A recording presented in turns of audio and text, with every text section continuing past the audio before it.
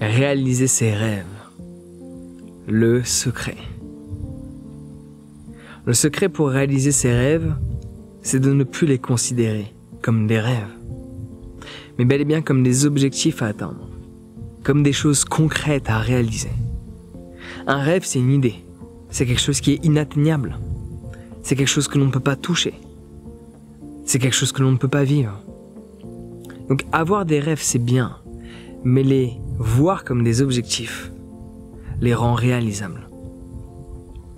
Donc n'aie pas des rêves et des objectifs et des deadlines à accomplir. Fais en sorte de réaliser que ce rêve, si je veux qu'il devienne réel, faut que je le mette step by step. Donc le rêve n'est pas un rêve, c'est un objectif. Cet objectif va être décomposé dans différentes catégories et sous-catégories d'objectifs à atteindre, de paliers à atteindre. Donc fixe-toi des deadlines. Fixe-toi des tâches à effectuer chaque jour. Fixe-toi un timing chaque jour à employer pour la réalisation de ce rêve-là. Mais tu ne dois pas rêver, tu dois agir. Les gens ne manquent pas de rêves. Généralement, ils manquent de clarté et d'exécution pour réaliser celui-ci. Je peux te garantir que si tu as un rêve, quel qu'il soit, que tu arrives à développer une certaine clarté sur toutes les choses qui sont nécessaires à mettre en place pour réaliser cet objectif-là, à te fixer une deadline, à te dire que dans six mois je le réalise, en effectuant telle et telle action aujourd'hui, en t'entourant des bonnes personnes. C'est quelque chose que les gens ont tendance à ne pas faire, à mettre de côté. Dans ton environnement tous les jours, personne n'a réalisé le rêve que tu as en tête, le projet que tu as envie de réaliser. Pourtant, il y a des gens que tu peux trouver à travers des livres, à travers des vidéos, à travers un enchaînement de discussions et de rencontres. Des gens qui ont réalisé ton projet. Des gens qui ont eu un rêve similaire, un objectif pareil, et qui l'ont réalisé. Entoure-toi de ces personnes-là.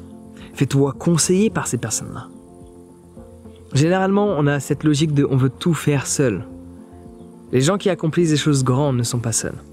Ils sont fait accompagner et sont accompagnés. Ils sont fait conseiller et ils sont toujours conseillés.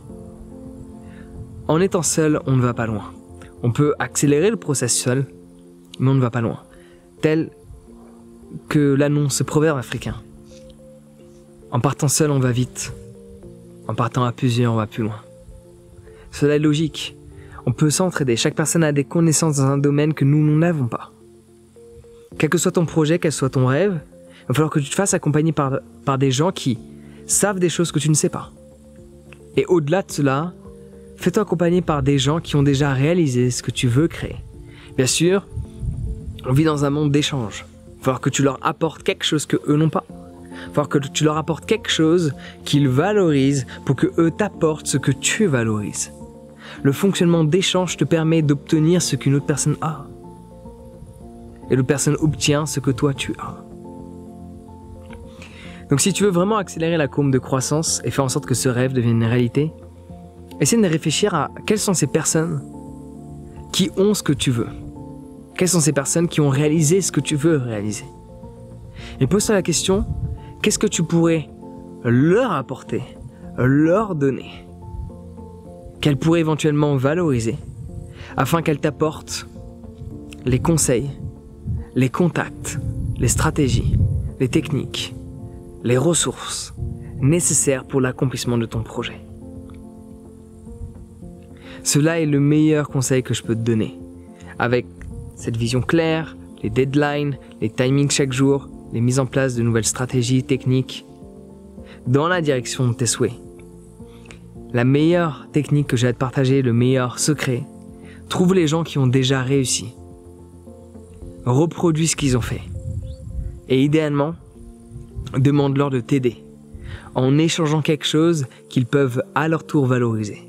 Parce que quand tu vas demander de l'aide à quelqu'un, cette personne a quelque chose à t'apporter.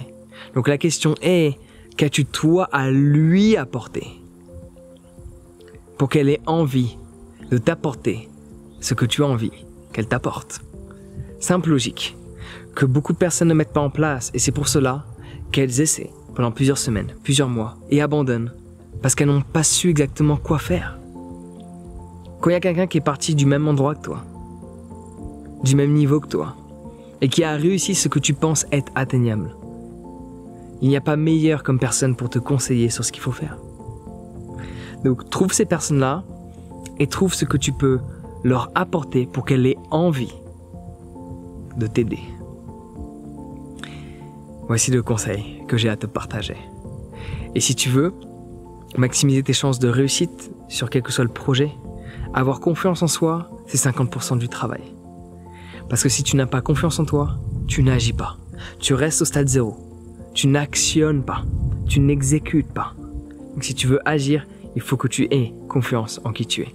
Donc incite-toi à ma formation sur la confiance en soi. Elle va t'aider à réaliser chacun des rêves que tu as en tête. Sur ce, prends soin de et passe une excellente journée.